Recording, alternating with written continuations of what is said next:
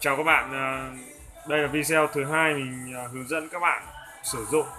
Tức là mình không có điều khiển, mình muốn sử dụng cái à, smartphone mình chẳng như của Samsung hoặc là iPhone hoặc là Windows Phone để điều khiển TV Với video clip trước thì đã sử dụng là tính năng uh, Quick Collect của Samsung để là sử dụng điện thoại Samsung.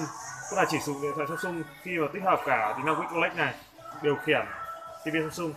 Nếu mà gia đình nhà mình không có smartphone của Samsung, các bạn có iPhone hoặc là Windows Phone, thì các bạn sẽ sử dụng cái ứng dụng là ứng dụng Smart View. Các bạn nhìn màn hình đây, Smart View đây. Smart View này với ờ, các cái dòng Android thì ờ, các bạn ờ, vào CH Play, tải ứng dụng Smart View.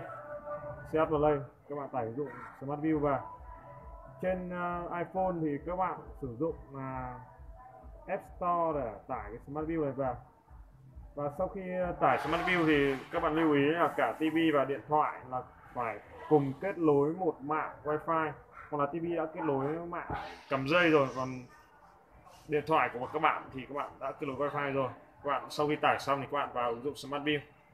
Các bạn để ý ứng dụng Smart View à, cái này thì khi ờ, mình đã kết nối trước với cả cái dòng Samsung Series 8 này rồi đây là mã hàng mới nhất của năm 2017 thì cái kho ứng dụng của TV nó sẽ tự động trực tiếp ở đây.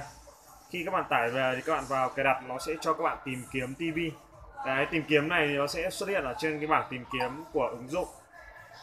Của ứng dụng là tìm đến cái TV của nhà mình tức là tìm đến cái TV ở trong cái phạm vi các bạn đang đứng các bạn muốn làm làm dùng điện thoại iPhone hoặc điện thoại uh, smartphone của bạn để các bạn trình chiếu.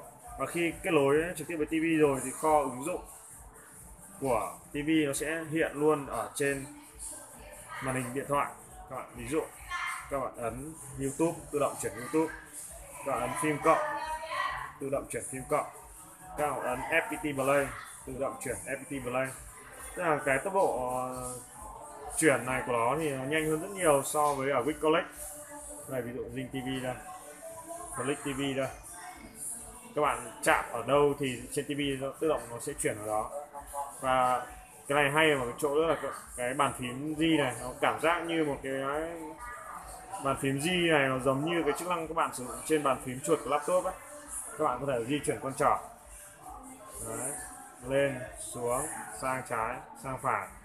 Ấn vào giữa là chọn. Đấy thì các bạn có thể sang âm nhạc sang giải trí sang hài kịch. Đấy thì ờ, với cái tính năng này thì mình có thể cho to cho nhỏ tại đây. Các bạn nhìn loa tivi kia. Là có thể cho to cho nhỏ lên được. Đấy. Đây chính là một cái màn hình của điện thoại à, của của dòng à, điều khiển thông minh của Samsung thì có thể sử dụng cho tất cả các dòng Samsung từ đời K5500 trở lên. Và bắt buộc là trên điện thoại là các bạn phải tải cái ứng dụng đó về. Để các bạn có thể tự động các bạn chỉnh ứng dụng trên này. Nó tự động nó nó sẽ tự động nó chuyển. Click nha nhìn lên đây. Kho ứng dụng đây.